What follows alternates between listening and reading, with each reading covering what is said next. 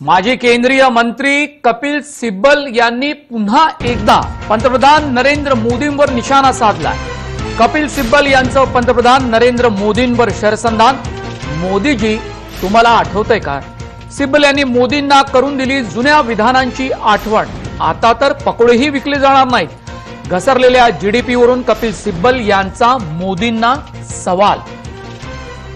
कपिल सिब्बल यांनी काय ट्विट केलं तेही आपण पाहणार आहोत. भारताचा सकल राष्ट्रीय उत्पादन अर्थात जीडीपीचा दर सरलेल्या एप्रिल ते जून तिमाहीत शून्याखाली घसरून तेवीस पूर्णांक नऊ टक्क्यांनी आक्रसल्याचं सोमवारी जाहीर झालेल्या आकडेवारीवरून स्पष्ट झालंय. देशाच्या जीडीपीचे आकडे समोर आल्यापासून मोदी सरकार टीकेचे धनी ठरले आहे.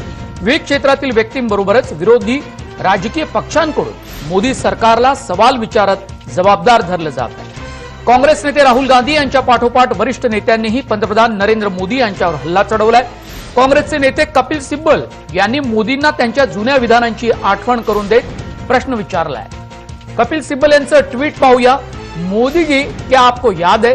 अच्छे दिन सबका साथ सबका विकास अपने कांग्रेस को साठ साल दिए. मुझे सिर्फ साठ महीने दो। आपने कांग्रेस को साठ साल दिए, मुझे सिर्फ़ साठ महीने दो। पकड़े तलने का वक्त आ गया। तो भी नहीं बिकेंगे। सिर्फ़ भाषण, ज़ीरो शासन। कांग्रेस ही टीका, मोदी यांच्यावर